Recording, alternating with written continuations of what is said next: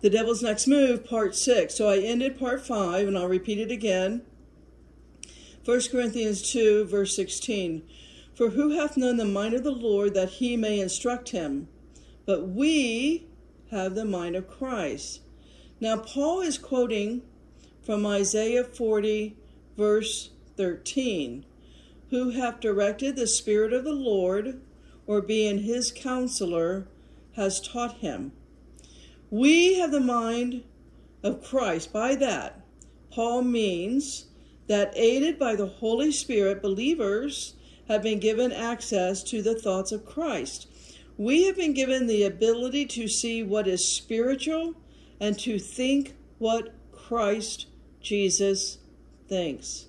Romans 12:2. Do not be conformed to this world, but be transformed by the renewal of your mind, that by testing you may discern what is the will of God, what is good and acceptable and perfect. Philippians 2 5. Have this mind among yourself, which is yours in Christ Jesus. 1 Peter 1:13 Therefore, preparing your minds for action and being sober-minded, set your hope fully on the grace that will be brought to you at the revelation of Jesus Christ.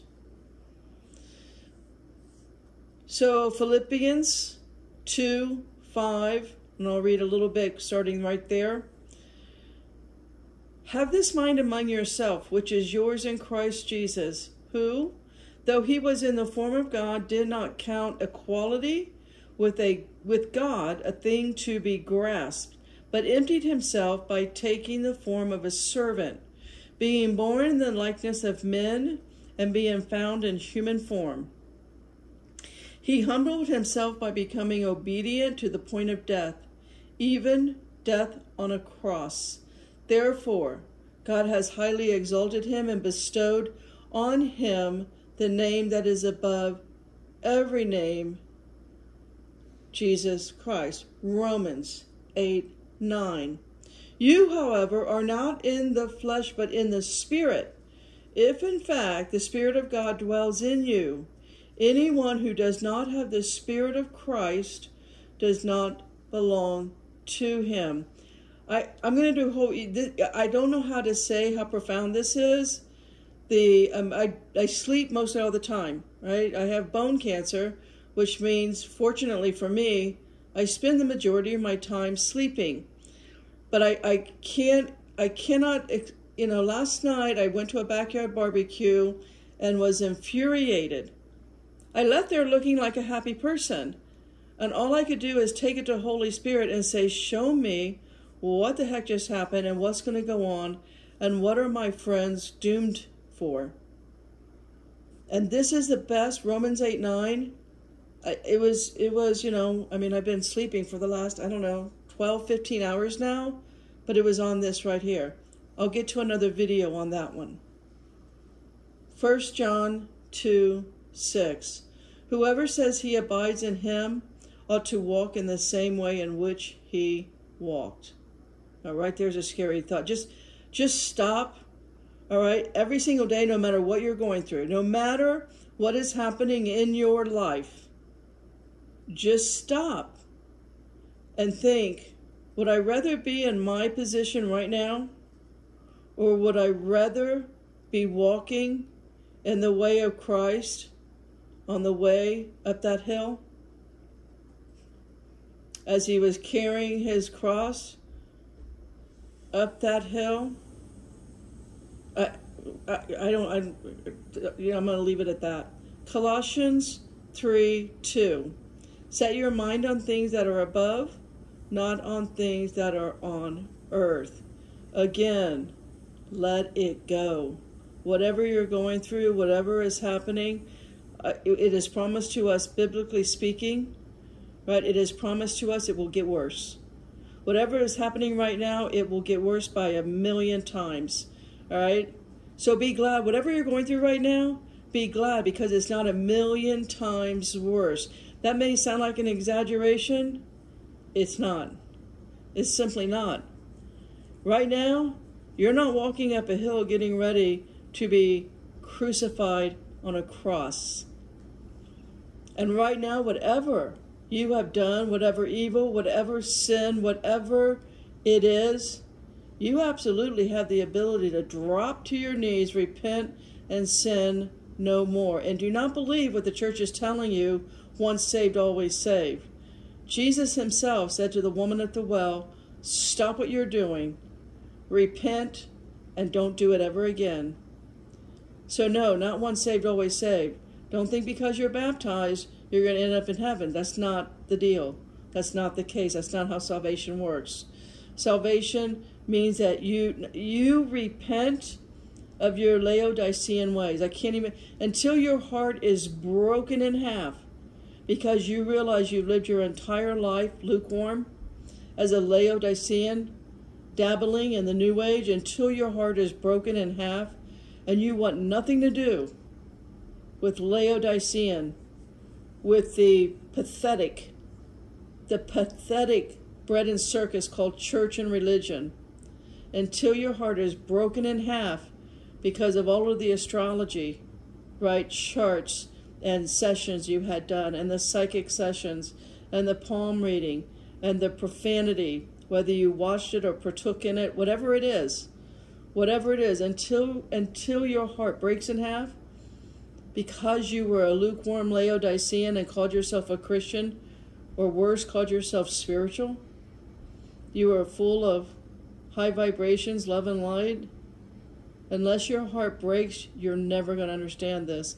The Holy Spirit is not going to be able to get in through that that what that leathery tough surface that you've had to right build create through all of your trauma anyway another video on that but let's wrap this one up so the mature way what this whole thing has been about the mature way to cast out demons we are called to deliverance we are called to do that that is true but how can we do that and stop the once now, right, clean house. Right, the, the house has been clean, the flies are out. How do we stop that the demon is not going to leave and bring back, and Jesus tells us it's going to happen, bring back seven more evil, more wicked than the original. I, I cannot emphasize enough. You think you're full of love and light and you're some spiritual new age guru going around calling them you, you'll admit eventually that they're demonic. You'll call them parasites. You'll call them emotional trauma. You'll call them first and second and third chakra. Fill in that blank. And you don't talk a thing about the next seven levels of wickedness. Well, probably because you're just stupid. You're just ignorant. You're just profoundly, uh, uh, what's the word I want? Perverted into your new age ideologies. And you've got the gift. Now, I, I, I don't have that gift, but you do. I watched it last night at the backyard bar. I watched that gift, that intellectual gift of Gav. It's quick. It's it's hard to get a handle on it. it's it to me it was humorous because the spirit in me could discern it and see past it. But man, I saw the hypnotic trance the witchcraft and the sorcery that the other unsuspecting souls at the backyard barbecue were tied into. The spider web was thick and they don't know how to get out of it. That was graphene. They were graphited into that sorcery. So, first, for me, what I do, and that's all I can tell you, what I have found to be the most mature response to this is the kingdom of God, the wisdom of God. Now, my goal in this entire series was to have given you enough verses on the topic of deliverance ministry through an exegetic study of the Bible. And, you know, thank you to the sister in Christ who actually did reach out to me with this question that encouraged this now six part video series. I encourage everyone if you have a topic that you want further study or further clarity on a topic, whether I've already done it or to, you know, throw it into, you know, future video studies. Whenever the days are that I can stay awake and do it, I will do it. Just contact me. I'm not hard to find. I'll give you my phone number 513 680 8810. Text me. Don't try to call me. Usually I don't answer the phone. Because if I'm not sleeping, I'm studying. The ringer's not on. Text me. Eventually, I'll look at my phone and eventually I will respond.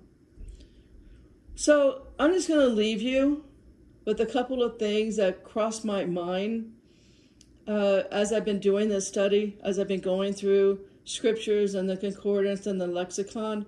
One of the big things I thought about, and I, I, you know, when you think about, and the only reason I throw this out is because I, I, I threw into this, you know, this part right here, drop to your knees, repent and sin no more. The first thing that came to my mind is Adam, right? Adam in the garden. Adam didn't do a whole series of things, right? It wasn't like he he was going through the garden, walking and talking with God, and kept stumbling and tripping up, and having to repent over and over and over. That's not how, that's not what happened. What happened is Adam only did one thing. One thing. Adam just followed his wife's prompting. That's all Adam did. Eve said, Here, I, I, I ate this. Well, have a bite. And that's all Adam did. And look at us, all of humans, all of mankind. he only did one thing. God didn't like, you know, put him in timeout. He didn't put him in, the, you know, the west corner of the garden and said, you know, think on this. He, he didn't give him a do-over. He didn't even say, repent and sin no more. I does that strike you? I, I don't know. It strikes me.